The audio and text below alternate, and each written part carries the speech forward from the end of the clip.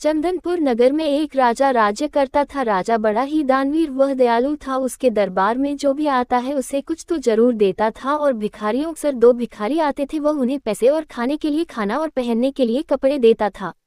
उनमें से एक भिखारी जवान और दूसरा भिखारी बुढ़ा था। जब राजा कपड़े और खाना खाने के लिए देता तो जवान भिखारी कहता, राजा ने दिया है, राजा ने दिया है। लेकिन दूसरा अधिकारी जो बूढ़ा था, वह कहता था, सब भगवान ने दिया है, भगवान ने दिया है। ये बात सुनकर एक दिन राजा ने सोचा कि ये दोनों भिखारी मेरा ही खाते हैं, लेकिन फिर भी एक कहता है कि सब भगवान ने दिया है, उसने एक उपाय सोचा, उसने एक तरबूज मंगवाया, उस तरबूज को अंदर से खोखला करवाकर उसमें बहुत सारे सोने के सिक्के भर दिए और कहा, ये तरबूज जवान भिखारी को दूँगा और बूढ़े भिखारी से बोला कि आज मैं तुम्हें कुछ नहीं दूँगा। क्योंकि तुम तो हमेशा यही कहते हो कि भगवान ने दिया है, देखो आज भगवान तुम्हें खाने के लिए कुछ देता है कि नहीं। महल से बाहर निकालने पर जवान भिखारी ने वह तरबूज एक सब्ज़ी वाले को बेच दिया और उसके बदले कुछ पैसे ले लिए और उन पैसों से उसने खाना खा लिया। दूसरे भिखारी को राजा ने कुछ नहीं दिया।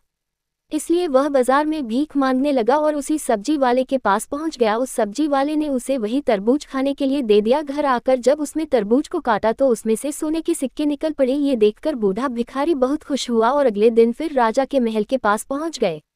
राजा ने पूछा, क्या तुमने कल कुछ खाया था? बूढ़ा भिखारी बोला, जिसको भगवान देता है उससे तो सब कुछ मिल जाता है। आपने कल मुझे खाने के लिए कुछ नहीं दिया, इसलिए मैं सब्ज़ी वाले के पास भीख मांगने चला गया और उसने मुझे वह तरबूज दिया। जिसमें सोने के सिक्के भरे थे, अब राजा की समझ में आ गया कि अगर भगवान चाहे तो कुछ भी हो सकता है और किसी को वह कुछ भी दे सकता है। कहानी पसंद आई हो तो कहानी को लाइक और चैनल को सब्सक्राइब करना ना भूले।